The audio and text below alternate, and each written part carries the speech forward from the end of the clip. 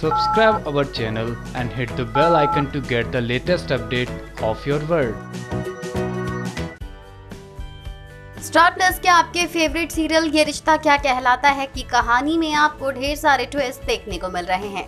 जहाँ हाल फ़िलहाल के एपिसोड की बात की जाए तो देखने को मिला कि पाँच साल का गुब्बार कार्तिक और नायरा ने एक दूसरे के ऊपर निकाल दिया है। जहाँ कार्तिक ने नायरा को ढेर सारी बातें सुनाई, उसको भगोड़ी तक घोषित कर दिया तो वहीं पर जवाब में नायरा ने कहा है कि ये सब कुछ कार्तिक की वजह से हुआ है, कार्तिक ने ही मुझे भगाया है।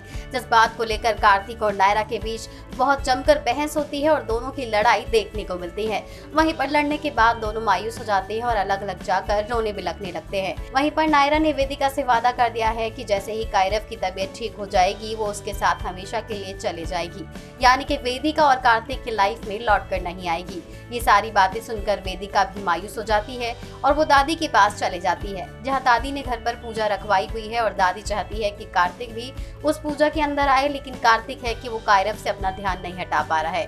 दादी कार्तिक को फ़ोन करती है और बुलाती है तो कार्तिक दादी को जवाब में कहता है कि अगर भगवान भी आ जाए तो भी वो कायरव को छोड़कर नहीं जाएगा। यानी कि दादी को मुँह तोड़ जवाब दे देता है कार्तिक और दादी की बोलती बंद हो जाती है। आने वाले एपिसोड की बात की जाए तो आप देखने वाले हैं कि कैसे नायरा अपनी पाँच साल पुरानी गलती को सुधारती हुई नज़र आएगी और अपनी मायके यानी कि सिंघानिया हाउस पहुँच जाएगी। सिंघानिया हाउस में जैसे ही नायरा जाएगी, वॉचमैन उसको रोक लेगा और कहने लगेगा कि आप अंदर नहीं जा सकती। तब नायरा कहेगी कि उसे अपने भाई से मिलना है और उसको राखी बांधनी है, जिसके बाद नक्श बाहर आएगा और कहने लगेगा कि कौन सी बहन जो पाँच साल पहले ही मुझे छोड़कर चले गई थी। पाँच साल बाद तुम्हें राखी बांधना याद आ रहा है। ये बातें सुनकर नायरा बहुत ज़्यादा शॉक हो जाएगी, यानी कि चारों तरफ़ से अब नायरा अकेली पड़ चुकी है। लेकिन हम आपको बताएँ कि नायरा का साथ देने शो के अंदर कीर्ति की एंट्री होगी? और अगर कीर्ति की एंट्री होती है तो नायरा की ज़िंदगी में कौन सा नया ट्विस्ट आएगा?